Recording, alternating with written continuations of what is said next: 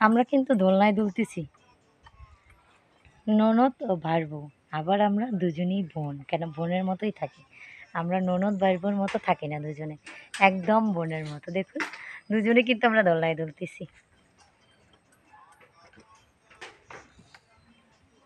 ওই গড দোলনাটাতে কি করে? অনেক ভালো লাগতেছে। পেয়ারা কিন্তু পাইনি। যত খুশি পেয়ারা খেতে বলছে এটা কিন্তু মিথ্যা। এখন কিন্তু আসবেন না আপনারা।